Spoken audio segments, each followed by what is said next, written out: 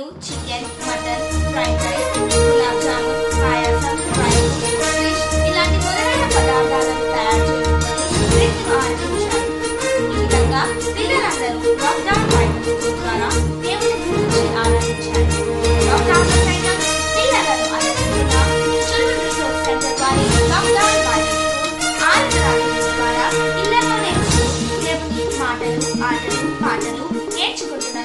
పది మంది పిల్లలు.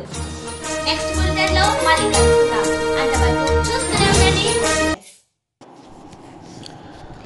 బ్రేకింగ్ న్యూస్ చూస్తున్నాం. లాక్డౌన్ బైబిల్ స్కూల్ ఎల్బిఎస్లో ఎనిమిదవ రోజు ఎంతో ఆనందముతో సంతోషముతో దేవుని సన్నిధిలో పండుగను ఆచరించిన పిల్లలు. తెలుగు రాష్ట్రాలతో సహా తెలుగు పిల్లలు యావత్ భారతదేశంలోనూ అలాగనే ప్రపంచంలోనూ ఆరాధన టీవీ లైవ్ షో ద్వారా మరియు యూట్యూబ్ ఫేస్బుక్ ఇతర సోషల్ మీడియా ప్లాట్ఫామ్స్ ద్వారా దేవుని సన్నిధిలో పండుగ ఆచరణలోని ఆనందాన్ని లాక్డౌన్ బైబిల్ స్కూల్ ద్వారా అనుభవించారు. చిల్డ్రన్ రిసోర్స్ సెంటర్ ద్వారా జరపబడుతున్న పది రోజుల లాక్డౌన్ బైబిల్ స్కూల్లో ఈరోజు ప్రత్యేకంగా ఎనిమిదవ రోజు. ఎనిమిదవ రోజున పిల్లలందరూ పసుపచ్చని దుస్తులు ధరించి బంగారానికి గోల్డెన్ సిటీకి అనగా పరలోకానికి సాదృశ్యంగా ఉన్న ఎల్లో కలర్ డ్రెస్లను ధరించి అద్భుతంగా వారి యొక్క ఆనందాన్ని వ్యక్తపరిచారు. అంతేకాకుండా ముఖ్యంగా ఈరోజు ప్రభు సన్నిధిలో ఆయనను పూజిస్తూ ఆరాధిస్తూ పండుగను ఆచరించారు.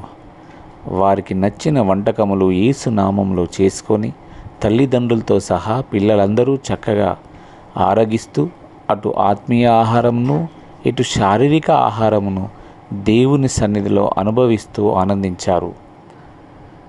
పిల్లలు వారు వారు చేసిన కంఠత వాక్యాలు ఫ్యాన్సీ డ్రెస్సులు బైబిల్ వీడియోస్ పజిల్స్ డ్రాయింగ్స్ మరియు స్పెషల్ వీడియోస్ ఇలా ఎన్నో ఆకర్షణీయమైన చక్కటి సెగ్మెంట్స్తో ఎల్బిఎస్లో పిల్లలు ఎంతగానో ఆనందాన్ని అనుభవిస్తూ దేవుని వా మాటలు నేర్చుకుంటున్నారు.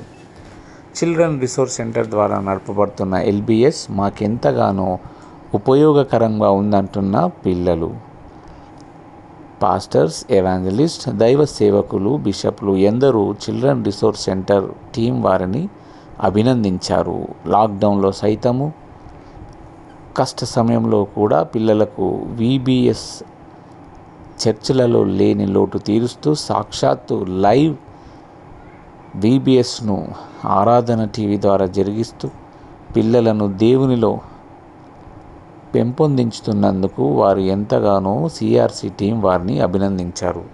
అటు తల్లిదండ్రులు కూడా మా బిడ్డలకి ఇదొక చక్కటి అవకాశమని ఎంతో ఆనందాన్ని హర్షాన్ని వ్యక్తం చేశారు.